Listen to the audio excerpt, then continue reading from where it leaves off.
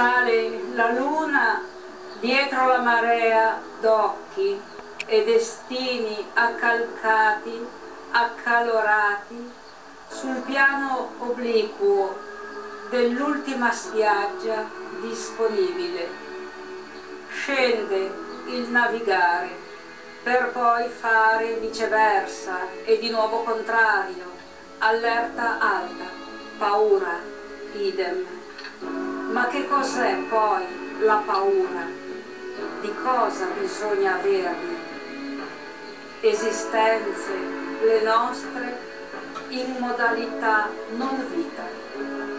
Ancor prima di partire, sudore per labbra arse, pelle squalcita, come i sogni che si potevano forse intascare ma non con 30 denari. Rabbia per non voler tornare più indietro, dove indietro non c'è mai stato qualcosa, nulla a parte.